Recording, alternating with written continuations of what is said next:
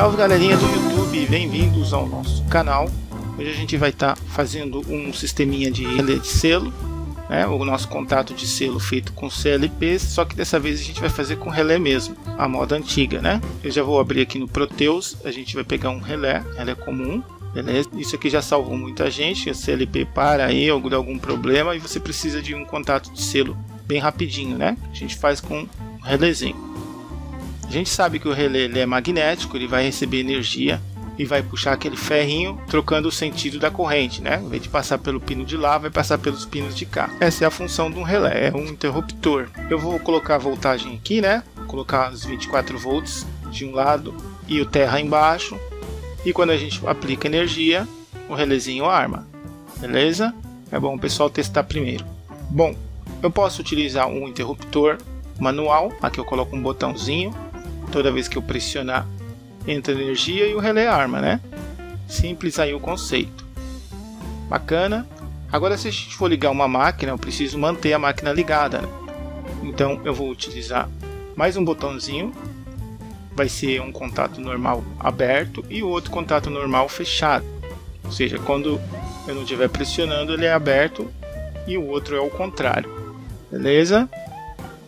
Vamos dar um nome aqui para os nossos botões. Vou chamar ele aqui de Start, deixar a fonte grande aqui, negrito, só para a gente separar, né? Como a gente fez ali no CLP. Em todos, na verdade. Isso aqui é um conceito básico na programação de máquinas. Vou colocar para o outro botão Stop. Vou deixar ele aqui na cor vermelha. Belezinha, ficar mais legal. Vou passar o outro para cor verde também.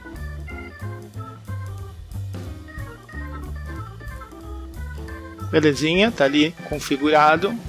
E como vai funcionar, né? Quando eu pressionar o Start que entrar energia, o relé vai armar e eu vou utilizar os contatos dele.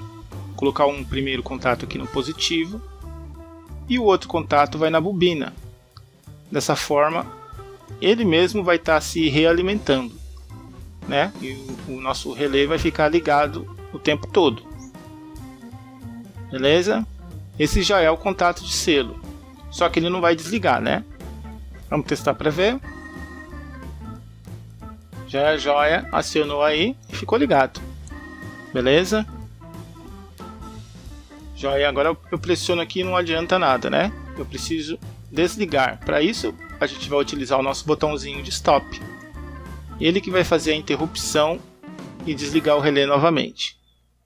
Beleza? Liga o contato aqui ligo o outro lado na bobina, ok?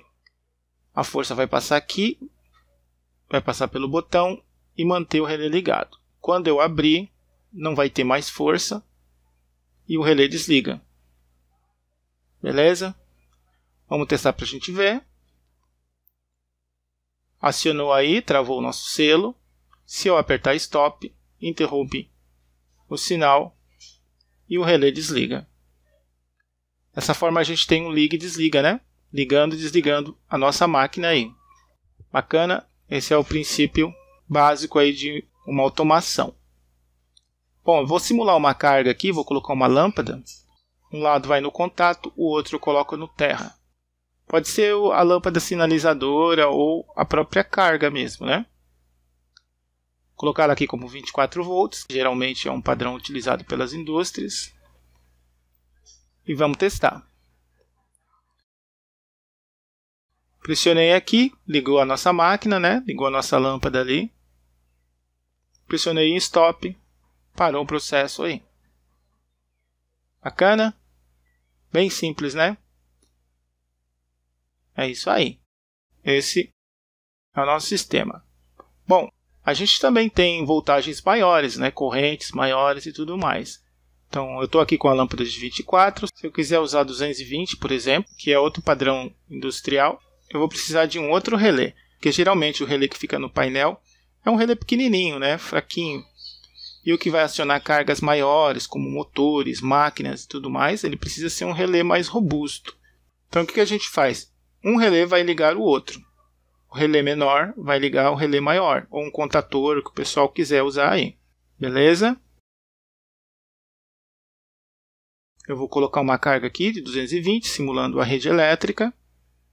Num contato eu ligo a lâmpada, no outro contato eu ligo a rede elétrica. Essa parte da esquerda ela está isolada da parte da direita. Esse lado aqui é 24 volts. O lado da direita é 220, beleza? Então você pode ligar sossegado que não tem nenhum contato entre as duas redes. Joinha. Vamos simular aí para ver. Pressionei Start, ligou a minha máquina, né? Pressionei Stop, desligou. Simples assim. E com redes diferentes, a gente pode ligar qualquer tipo de equipamento aí. Beleza?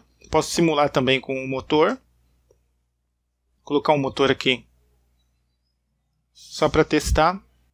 É uma ventoinha, né? Dei start aqui, tá rodando, tá ligando a minha máquina ali. Dei stop, eu paro tudo aí, para o processo.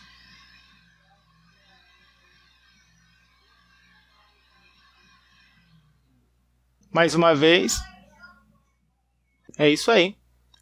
Espero que o pessoal tenha entendido, gostado aí e que ajude na hora de fazer uma automação, na hora de fazer um teste ou até um reparo.